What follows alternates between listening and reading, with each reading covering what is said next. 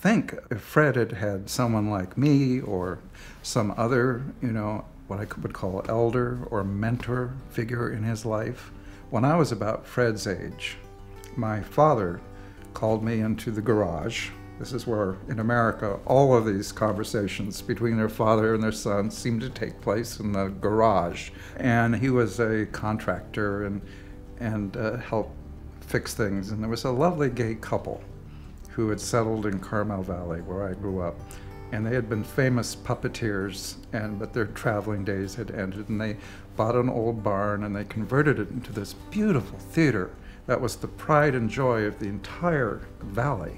Well one winter it got very cold and the pipes broke and my dad went up there and helped them fix the pipes which is what he did and they said well we need an assistant we need a help because we're getting too old so that night he came back and took me into the garage and said, Well, son, there isn't much more that I can teach you or help you.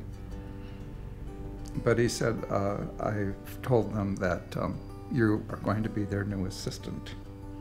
So he gave me the keys to the family car, and every Saturday night I would drive up the valley about 15, 10, 15 miles, to this magnificent theater, and help them with printing the bills and ushering the crowds and threading the, the film through the projectors and just helping them.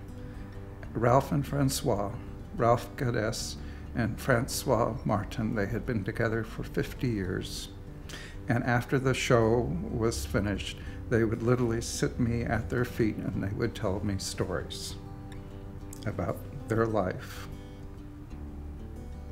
as you know partners in art and partners in life and partners in love it was the best education about anything I ever received.